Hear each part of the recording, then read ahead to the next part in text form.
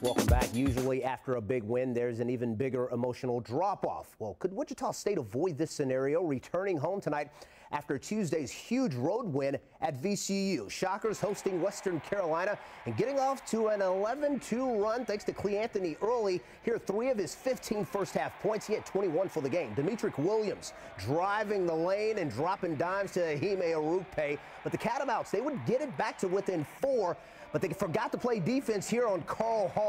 Way too easy. Evan Wessel, the former Heights product, getting in on the action. Nice backdoor cut. WSU ends the half on a 23-8 run. They lead by 19 at recess. More of the same in the second half. Pick and roll. Malcolm Armstead to Carl Hall. Shockers win 79-63.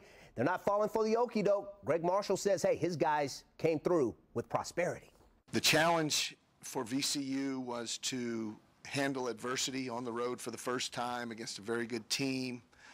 Uh, coming back tonight, it was to handle prosperity. Coach told us all day how we're going to handle the prosperity. So we just got to fight through it and realize that this is just the beginning. Can't get too big headed because it's a long